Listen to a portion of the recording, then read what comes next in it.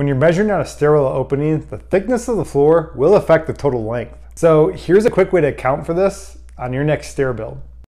You can check the floor thickness on the calculator by pushing recall 8. The default is 10 inches. So let's enter a rise and see what that gives us. Let's say 10 feet 5 inches and push rise.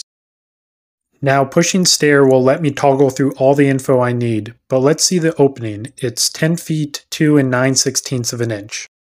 Now let's change the floor thickness to 11 inches. So I'll enter 11 inches and push store 8. So I have the same rise entered, but as I push the stair button, I'll see that the opening needs to be slightly longer at 10 feet 3 and 29 30 seconds of an inch. And lastly, don't forget about headroom, which is also a factor in stairwell openings. You can find that under preferences, so push convert, then store until headroom appears, and increase or decrease that as needed with the plus and minus keys.